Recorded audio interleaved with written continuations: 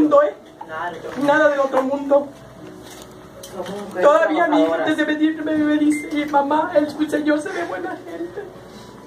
A lo mejor consigue que el presidente diga que sí.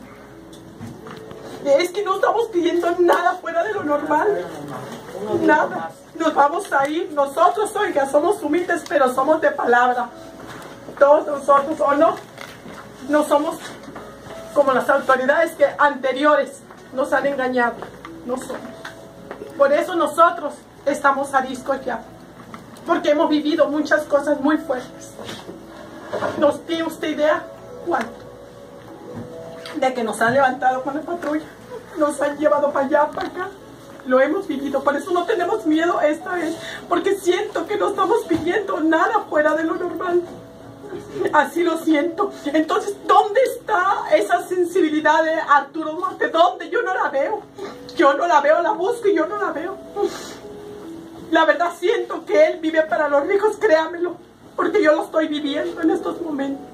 No estamos pidiendo nada que no sea. Yo fui una de las personas que no estaba en la tómbola. No modo, los compañeros aquí están porque mi dirigente no estaba y yo fui en representación de él y no sabíamos que iba a haber el sorteo hasta que llegué ahí. Y aún así, le habla a mi compañero, no vengo en la tómbola. Y yo me puse enojada, ¿o no, compañeros? Accedí como me dijeron ustedes, no, no, usted mismo dijo, cálmese, aquí le vamos a dar. Me dieron donde pudieron. Y no era así, ¿verdad? Y cedí, fíjese, cedí.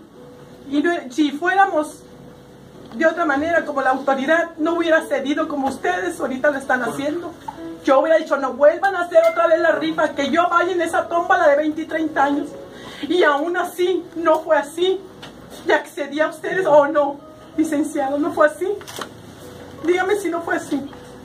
Ya accedí a como ustedes me pudieron me arreglar. No me puse renuente, no. Que vuelva la rifa otra vez de 20 y 30. En ningún momento. Me conformé con lo que me dieron. Y estoy conforme, por eso yo le pido con todo mi corazón, así como mis compañeros y los que están ahí esperándolo, que nos deje hasta el 25 de diciembre y el 26 nos vamos todos para allá. Es todo lo que pedimos. Porque usted, señor licenciado, tiene sus ideas, sí, matemáticas, lo que usted quiera. Pero nosotros que vivimos ahí diariamente en la vía pública sabemos realmente cómo son las cosas. Nos están esperando allá y que llevemos respuesta.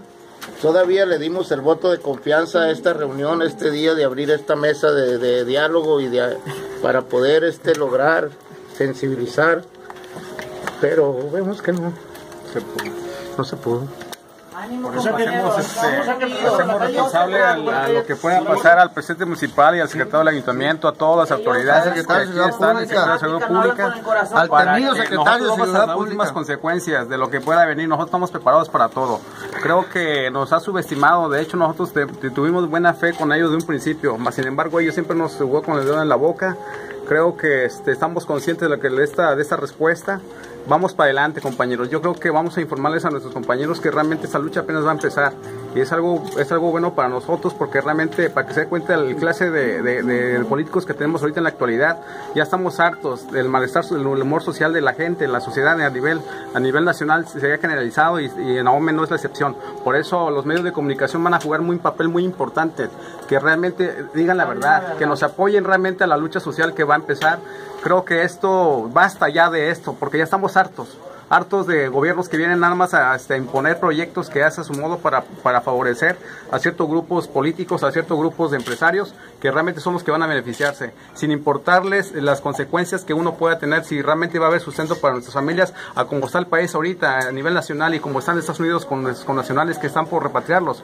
Creo que no están tomando en serio la situación. Vienen muchas las consecuencias. Yo, yo avisoro una situación este, mal para el 2017. ¿Qué medidas van a tomar? Vamos a, vamos a ver, vamos a platicarlo con nuestros compañeros y ya tomaremos decisiones. Muchísimas gracias. ¿Cuál es su nombre? Marco Segundo Sánchez.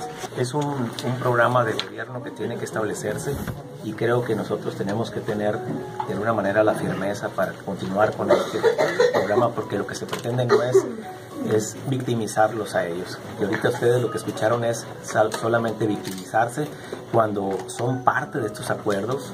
Escucharon a una persona decir que no había convenios y sus compañeros que sí y de escuchar que no sabía nada de esto y decir que en todas las reuniones estuvo presente.